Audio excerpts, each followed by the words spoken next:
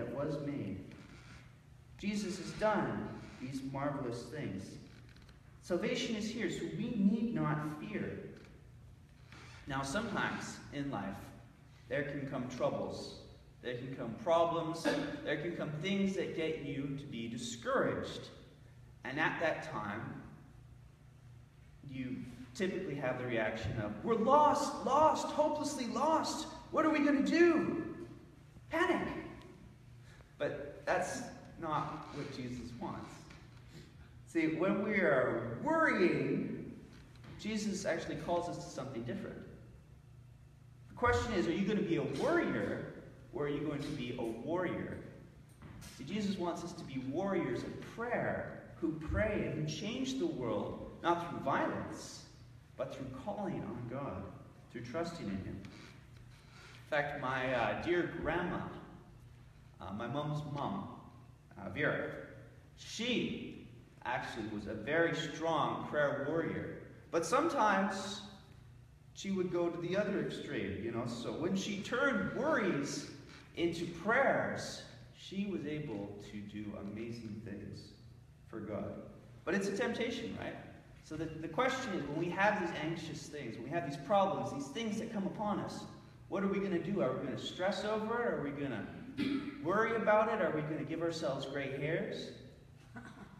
I, I mean, you know, I, I, have some myself, so I, I can understand. But the thing is, we need to actually put these things in the hands of God. We need to go to the cross, and we need to lay these things down, and we need to say, Jesus, help, help. I'm going to trust you with this. And I don't know how it's going to work out, but I'm going to trust you, God. I'm going to ask you. And if this doesn't work out, we're going to talk. We'll have a long conversation about that. But see, it's about um, trusting, and it's also about fear. Because as our cantata was saying, you know, do not be afraid. Do not be afraid, for you have found favor with God, and you shall bear a son. Salvation, Yeshua. This is also called victory. It's called saving health. It's called saving power. And in the Bible here, what happens is this salvation tends to go hand in hand with righteousness. They go together. So in the person of Jesus, you have a guy whose name is salvation. And what did he do? He came and he died in our place. But he was the sinless one. He was the righteous one. He was the perfect lamb who died that we could come to God. Amen? Amen. Verse 2. The Lord hath made known his salvation. His righteousness hath he openly showed in the sight of the heathen. Now this isn't not only for just the Jewish people. So if you're Jewish, God bless you. That's awesome. But it's for us too. It's to the nations. It's in the sight of the heathen. It's to every nation, the sight of the Gentiles, to all the nations. It's for the others, those who feel that they don't belong. It's for the Goyim, everyone who's non Jewish. Thank you, Lord, that we do not need to live in the fear of heathenism. Heathenism. That we don't need to fear, you know, nature around us. We don't need to fear the mountains and the waters and the trees and just capricious fate. Thank you, Lord, that we can trust you, God. And thank you that we can know God through Jesus, his Son. Verse 3. He hath remembered his mercy and his truth toward the house of Israel. All the ends of the earth have seen the salvation of our God. Now, what's kind of cool here is uh, all the ends of the earth have seen the salvation of our God. That actually, that phrase sticks so even in the NIV, they use the same phrase. They're like, they put it great, we're just going to keep it. So God has done wonderful things. He's done saving things. But what are the big saving acts that God has done? Well, think of Joseph. Joseph, who was sold into slavery, ended up saving his whole family. And he became the prime minister of Egypt. And he saved Egypt from a terrible famine that would have wiped people out.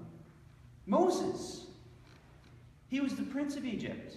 And what did he do? He turned his back on that and he came and he set God's people free. And not only that, but he split the sea. That's pretty awesome. David, you know, he defeated Goliath the giant, but also he made Israel important. He actually made them into a nation that people were like, yeah, those Israelites, they know what they're doing. Hezekiah, he, when he was surrounded by the Assyrians, when the rest of the world had been conquered, he trusted in God, even though there were so many armies around him that logically he had no chance whatsoever. He trusted in God and he cried out to God. And what did God do? God acted. Hezekiah didn't have the, the army or the strength to do anything, but he called out to God, and God sent his angels, and they defeated the armies around him. When Hezekiah looked outside, he was like, wow. Esther, she trusted in God. And through this trust and through this courage, she managed to save the entire Jewish people because they were about to be destroyed, just wiped off the map. Ezra and Nehemiah, they restored the temple. They trusted in God and they put their faith into action. They went out and they left what was familiar to go and do something better for the Lord. But most importantly, Jesus, Yeshua. Think of what he has done. And even in your own life, God has acted, and we should celebrate it. I mean, we had 13 people at the Thirst Christmas party. That's great. And I can speak of other things. God has acted. He has not forgotten you. Do not fear. Salvation is here, so be of good cheer. Good Christian men rejoice. Good Christian people rejoice. Make a joyful noise unto the Lord, all the earth. Make a loud noise, and rejoice and sing praise. Sing unto the Lord with the harp, with the harp and the voice of a song. With trumpets and the sound of cornet, make joyful noise before the Lord, the King. Now, this is speaking about music. I like music. Music's fun. And it talks about singing. It talks about the harp. So you have stringed instruments. So you have the guitar, the piano, the violin, and all those stringed instruments. It talks of the uh, brass, the trumpets. So you got the brass, the true, exactly, exactly. And it talks about the horns, but these were natural horns. So you'd include like the oboes and the woodwinds, you know, the things which you don't make out of metal, but you fashion. And also, uh, later in the psalm, it talks about the rivers clapping their hands in percussion, which uh, is great. So you got a verifiable symphony unto God. Now, this is a song of ascent. The pilgrims, they would come up to Jerusalem. They would sing this. And music, it just makes people come together.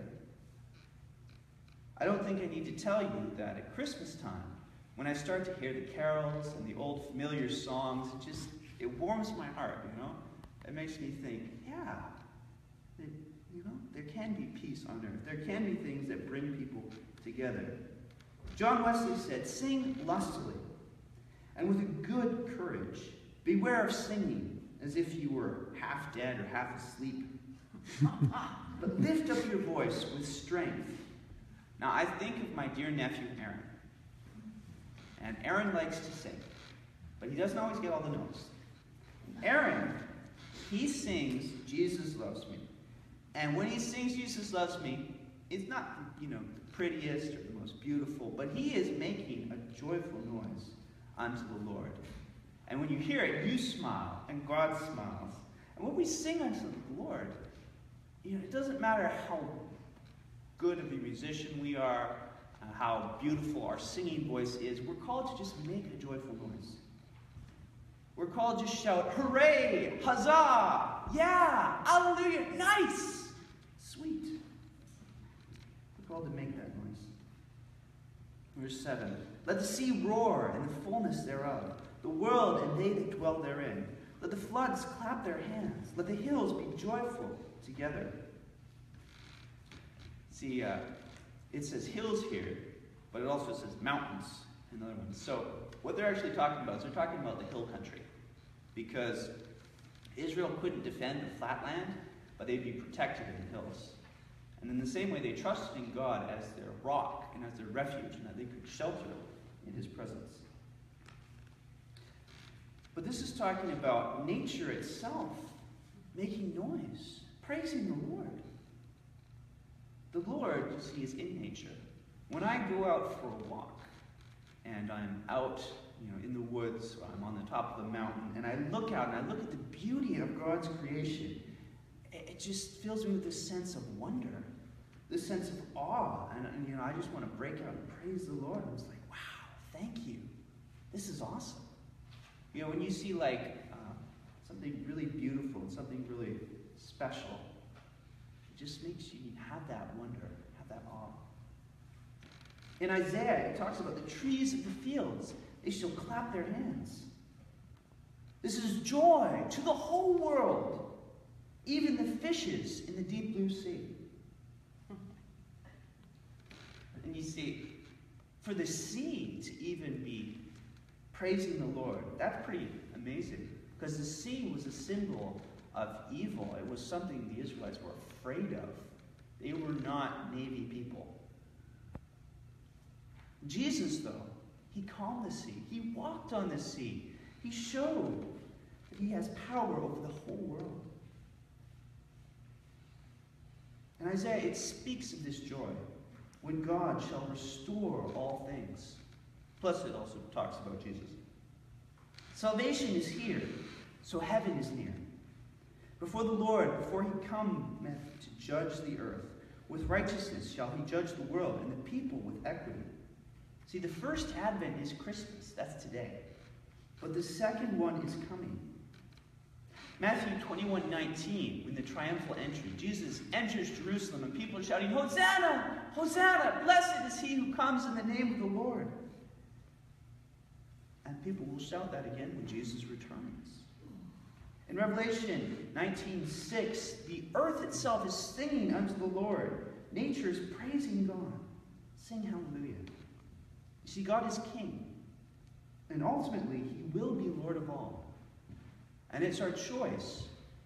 Do we bend the knee now, or does the decision get made for us? Jesus, in what he did on the cross, he came as a baby so that he might save us from sin and death. He is the conqueror of death. And Jesus will come to judge at the second advent, the parousia, when Christ returns. And to that I say, Maranatha, come, Lord Jesus, come. So, salvation is here, and we need not fear. Salvation is here, so be of good cheer.